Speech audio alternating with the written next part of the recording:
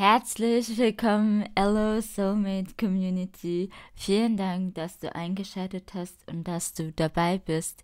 In diesem Podcast teile ich alles mit euch, meine Gedanken im Alltag, wenn ich plötzlich eine Blitzerkenntnis bekomme und etwas richtig Cooles manifestiert habe oder einfach generell mein Wissen und Erfahrung im Bereich manifestieren. Ich danke allen von ganzem Herzen, die meinen Podcast hören und etwas lernen wollen. Gestern vom Schlafen hatte ich eine Erinnerung von einem Gespräch mit meiner Cousine. Ich hatte euch mal von ihr erzählt, dass sie in einer schwierigen Situation ist. Auf jeden Fall hatte ich nochmal äh, den Gedanken oder ich hab, musste an sie denken weil es ihr so schlecht ging und ich bin so jemand, äh, ich fühle halt mit und ich will unbedingt jemandem helfen. Natürlich habe ich ihr vom Manifestieren erzählen und ich wollte ihr helfen, aber sie meinte, nein, äh, ich glaube nicht dran, also ich kann mir das kaum vorstellen, wie soll ich in eine Fake-Leben leben oder auf jeden Fall ähm, war, war sie halt sehr negativ und ja, also für sie ist quasi manifestieren gar nichts. Obwohl sie, äh, sage ich mal, jede Minute manifestiert und sich sehr viel beschwert. Ähm, aber das ist ja nicht schlimm. Manche Menschen sind ja nicht äh, so weit und die haben ein anderes Bewusstsein. Und deswegen, da meine Cousine ja auch extrem religiös ist, ähm, ist das Thema heute, ist Manifestieren religiös wir manifestieren 24-7, also die ganze Zeit. Du hast am Tag schon, wenn du aufstehst, über 35 äh, Millionen, literally, literally 35.121 Gedanken. also du hast wirklich äh, so viele Gedanken und Entscheidungen, du denkst ständig nach. Also ich weiß noch mal in Deutschunterricht, äh, als meine Deutschin zu uns gesagt hat, ich will gar nicht wissen, welche Gedanken ihr habt. Also stellt euch vor, wenn ihr wirklich von jedem den Gedanken äh, also wissen würdet. Also es ist so krass. Also ähm, auf jeden Fall, was ich hiermit betonen will, ist, dass du die ganze Zeit denkst, Entscheidungen triffst, du hast Selbstgespräche mit dir und du denkst auch wahrscheinlich über andere oder über deinen Tag oder was auch immer. Ähm, weil der will, ich kann auch nicht deine Gedanken lesen. Aber auf jeden Fall, du denkst ständig und du manifestierst auch die ganze Zeit. Äh, du manifestierst sowieso. Es ist halt deine Entscheidung, ob es, ob du das bewusst machst oder unbewusst. Bewusst heißt, du denkst wirklich die ganze Zeit nur an nur zum Beispiel einen deinen Traum an. Du denkst ständig, ja, also so und so aussehen. Oder du visualisierst ständig, wie du mit ihnen äh, ja, spazieren bist auf ein Date oder was auch immer und unbewusst ist, dass äh, quasi deine Gedanken dir egal sind. Du denkst ständig und natürlich, wenn du auch Negatives denkst, dann ziehst du auch negative Dinge an. Es ist dein Glaube, aber es hat nichts mit Religion zu tun. Manifestieren ist nicht religiös. Du denkst ja ständig. Die Realität ist, wenn dein Bewusstsein eine niedrige Low Vibration hat, dann, dann ziehst du auch immer mehr davon, dann ziehst du auch mehr negative Dinge in dein, die auch so eine niedrige Schwingung haben. Auch wenn du ständig zweifelst, das ist auch so ein Ding. Sendet dir das Universum mehr Troubles in dein Leben, weil du im Mangel bist. Du fragst dich, wieso deine Manifestation noch nicht da ist und deswegen ist das eine Low Vibration, weil du in Mangel bist, du hast das nicht, also deine Manifestation, wenn du dran glauben würdest, dass du jetzt das schon bereits alles hast, dann wäre dein Gefühl anders. Aber du hast dieses komische Gefühl, dieses, du zweifelst dran und fragst dich, soll ich das überhaupt machen? Das ist, weil du das ja bewusst machst. Und du fragst dich ständig, ja, wieso klappt das bei mir nicht? Ähm, du musst wirklich in dieses Bewusstsein kommen. Das ist ja quasi the key, dass du zu diesem Bewusstsein kommst, dass du schon alles hast, dass du glücklich bist. Wenn du jetzt glücklich und zufrieden bist, dann ziehst du auch solche Dinge in dein Leben an. Dann äh, wirst du merken, wie jeder Tag plötzlich so anders ist. Du wirst merken, wie nur positive Dinge zu dir kommen. Du bist jeden Tag überrascht und denkst so, okay, ich bin voll überflutet von den ganzen ähm, Überfluss, der gerade zu mir kommt. Ständig. Du wirst dann überrascht sein, wieso das dir passiert oder wie kommt das so plötzlich. Ähm, auf jeden Fall ähm, ist, ist Manifestieren neutral und es ist nicht gut, schlecht oder böse. Es hängt ab, in welchem Zustand du dich befindest. Bist du dankbar, dass du schon so vieles hast, deine Gesundheit oder dein Haus, eine Familie, oder beschwerst du dich, weil alles so teuer geworden ist. Leute, ich höre das ständig, wenn ich an der Kasse bin. Wahnsinn. Also ich gehe jetzt nicht täglich einkaufen oder ein, ein bis zweimal in der Woche. Auf jeden Fall, wenn ich das höre, dann muss ich wirklich an Manifestieren denken. Und ich finde das so lustig. Und ich denke so, ja, ich versuche ständig was Gutes zu manifestieren, Menschen zu helfen, eine gute, positive Energie zu haben. Und ich äh, vor mir sind genau die Leute, die sich ständig beschweren und so. Wenn die wüssten, dass Manifestieren so einfach ist, dass es nur deine Gedanken sind, dann wäre die Welt wirklich äh, ein Paradies, the heaven. äh, also es ist an sich nicht lustig, dass die Leute so denken, aber das ist so. Wir können nicht, also ich persönlich kann jetzt nicht die Welt retten.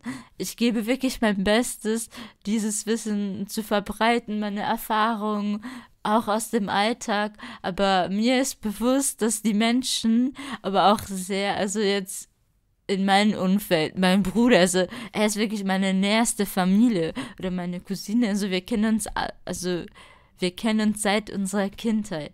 Und ähm, ich nehme es wahr, wie mein Leben positiv sich verändert hat, dass ich meinen Traumseelenverwandten habe, dass ich jetzt immer mehr Positives in mein Leben anziehe. Natürlich, äh, manche Dinge kamen auch sehr schnell, manche, es, es hängt natürlich auch von meinem Glauben, aber ich bin, sage ich mal, auf dem richtigen Weg.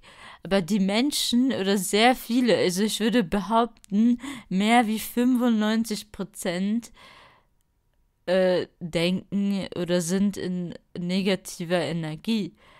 Es, ist, es hängt auch von den Dingen ab, welche Glaubenssätze die haben und was die konsumieren. Wenn ich äh, jetzt irgendwie unterwegs bin, äh, literally fünf Minuten irgendwo hinlaufe und in ein Geschäft bin, dann werde ich schon direkt die Energie von Menschen spüren, die diese Low Vibration haben, die nach einem Preis fragen oder äh, keine Ahnung, also ähm, ich versuche natürlich, so gut es geht, mein Wissen auch umzusetzen. Ich würde ganz gerne einfach so Leute random ansprechen und sagen, hey, du kannst das verändern. Aber ich muss euch auch tatsächlich etwas Cooles erzählen. Und zwar, jetzt fällt es mir gerade ein, gestern. Ähm, eine Kundin hat äh, zu mir gesagt, ja, das ist unglaublich, wie sie so nett und lieb sind. Und sie war so überrascht. Also, das ist ja jetzt, das ist nicht das erste Mal. Und ich will nicht damit angeben. Ähm, ich hatte auch so Erfahrungen, also das, da war ich auch mega überrascht, dass eine Dame, die war so zwischen 35 und 40. Und die hat sogar geweint. Leute, ich kann das nicht glauben. Also äh, ich, ich war sehr überrascht und ich wüsste nicht, wie ich da reagieren soll. Aber dann habe ich sie, sage ich mal wieder, sie hat wegen mir geweint, weil sie, äh, sie kennt mich jetzt seit ungefähr zwei Jahren und ähm, natürlich hat sie bei uns immer eingekauft als Kundin und auf jeden Fall äh, war sie so überrascht, dass ich immer so nett und freundlich war und geduldig. Und sie kennt auch meine Kollegen. Und auf jeden Fall hat sie gesagt, ja, dass sie immer so begeistert von mir ist. Und sie freut sich immer, wenn sie mich sieht, sie kriegt gute Laune.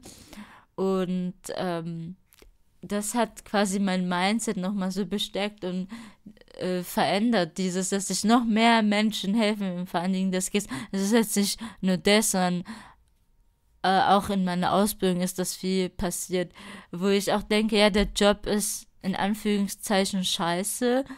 Ähm, aber wenn ich Menschen, selbst wenn es nur ein paar sind, wenn ich denen helfen kann, wenn ich denen positive Energie geben kann, auch wenn es nicht mit Manifestieren ist, mit Worten, ähm, dann verändert sich vieles. Ich habe in meiner Arbeit, auch wenn es nicht mit Manifestieren ist, so einfach mit kleinen Herzchen, mit positiver Energie, einfach die Le immer wenn die Leute mich sehen, die freuen sich einfach. Und das ist wirklich so ein gutes Gefühl. Und das möchte ich ja auch erreichen. Ich möchte viele Menschen erreichen, die äh, schlechte Laune haben, die irgendwie verzweifelt sind, die äh, gerade total am Ende sind. Ich will euch äh, zeigen, dass das war es. Und vielleicht, wenn ihr auch, sage ich mal, in meinem Alter seid, ich bin jetzt 29, ähm, und euch mit Manifestieren äh, beschäftigt und gerade neu seid,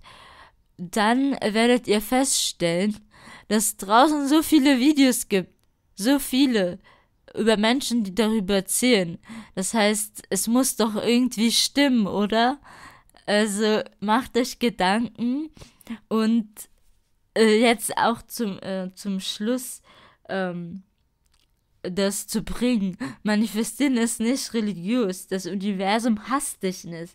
Es spiegelt nur dein, deine Gedanken wieder. Es ist wirklich sehr, sehr wichtig, dass du auf deine Gedanken achtest. Wenn du mit jemandem sprichst und dann das quasi analysiert. Was habe ich gerade gesagt? Was war meine Intention? Wie habe ich das gesprochen? Habe ich Liebe gesendet? Oder war das äh, Hass, Wut?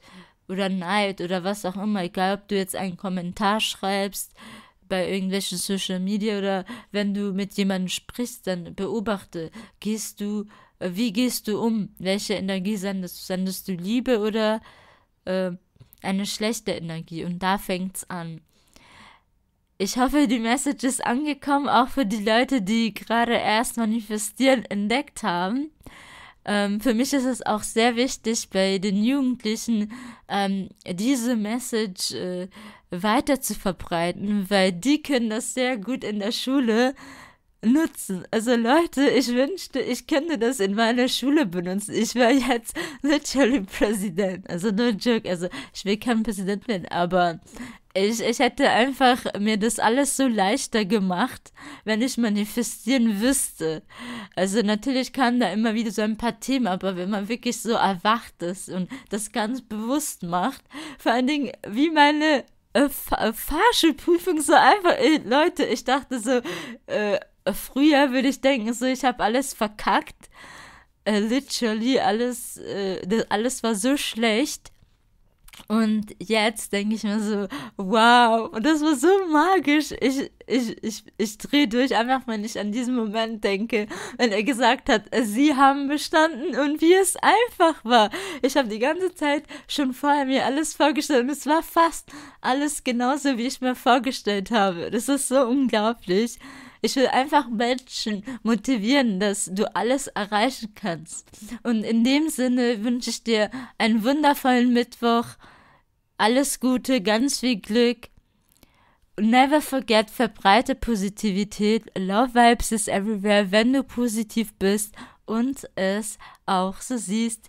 Ganz liebe Grüße, deine Visionärin.